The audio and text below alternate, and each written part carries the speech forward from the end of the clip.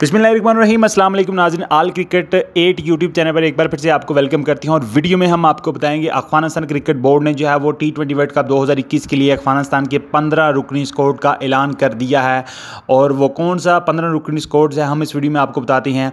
Rashid Khan captain होंगे, उसके बाद रहमतुल्ला गुरबर्ज नाजिन विकेट कीपर हज़रतुल्ला जैज़ई उस्मान गनी असगर अफ़गान मोहम्मद नबी नजीबुल्ला जदरान हशमतुल्ला शाहिदी, मोहम्मद शहजाद, मजूबर रहमान, करीम करीम जन्नत गुलबादीन, नायब नवीदुल हक, हामिद हसन, शरीफुद्दीन अशरफ, दौलत जदरान शाहपुर जदरान और कैस अहमद नाजिन इस टीम में शामिल हैं। अगर हम बात करें रिवर्स के तौर पर तो अफसर जजई और फ़रीद अहमद मलिक नाजिन ये टीम के साथ जो है वो रिवर्स के तौर पर जो है वो ट्रैवल करेंगे। अगर किसी को कोविड या ऐसी कोई सूरत हाल होती है तो तो नाजिन जो है वो बड़ी खबर ये है कि मोहम्मद शहजाद और हज़रतुल्ला जैज़ई की जो है वो टीम की टीम में वापसी हुई है। जो कि बहुत ही ज़बरदस्त जो है वो अफ़गानिस्तान क्रिकेट टीम के लिए कदम है।